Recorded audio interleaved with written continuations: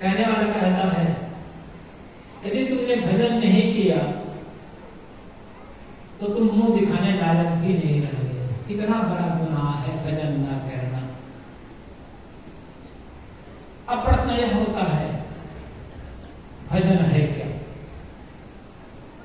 भजन कैसे करें? किसी नाम का जप करना, किसी मंत्र का जप करना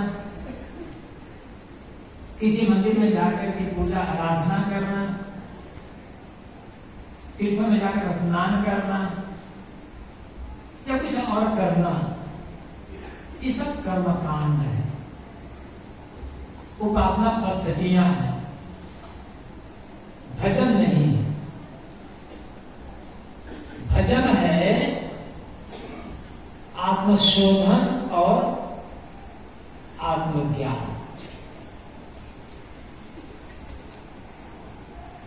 निरंतर अपने आप का परिमार्जन करते चले जाना।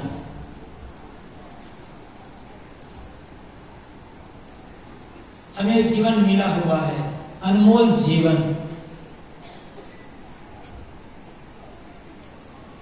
जरा सोचें। अभी मौत आ जाए हमारे सामने, और मौत हमसे कहे